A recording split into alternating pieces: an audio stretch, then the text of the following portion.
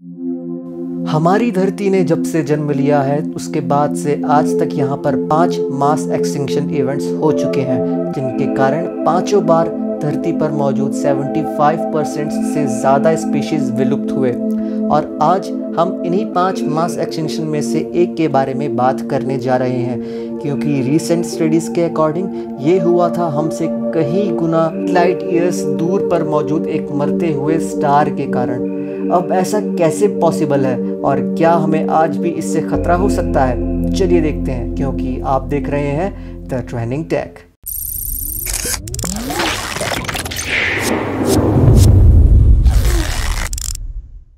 आज से करीब 66 मिलियन ईयर्स पहले धरती पर डायनासोर्स का राज था। लेकिन जैसा कि हम सब जानते हैं, कुछ ऐसा हुआ जिसके कारण पूरी की पूरी स्पीशीज़ का सफाया हो गया। इसके पीछे अलग अलग थ्योरीज दी जाती हैं, जिनमें से कुछ का मानना है कि हो सकता है एक बहुत बड़ा एस्ट्रॉयड या कॉमेट धरती से टकराया होगा।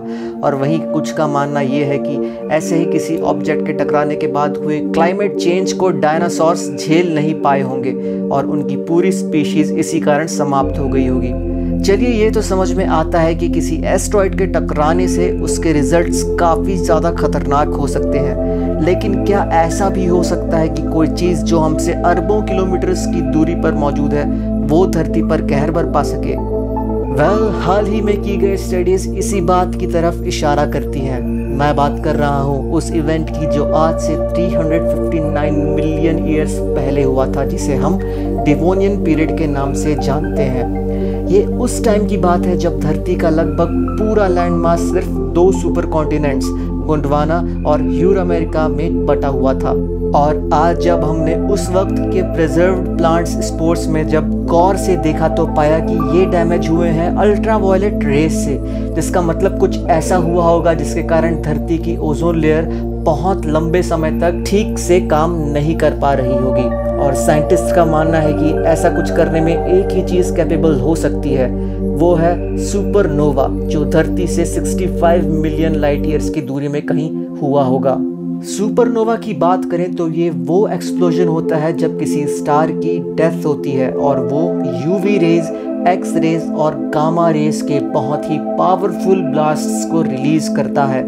और ऐसे ही किसी सुपरनोवा एक्सप्लोजन के अर्थ के पास होने का मतलब होगा कि ये हमारे ओजोन लेयर को पूरी तरह से ख़त्म कर देगा, जिससे कि हार्मफुल कॉस्मिक रेस अर्थ के सरफेस तक पहुंचकर सारे लिविंग ऑर्गेनिजम्स के लिए मुसीबत बन जाएँगी।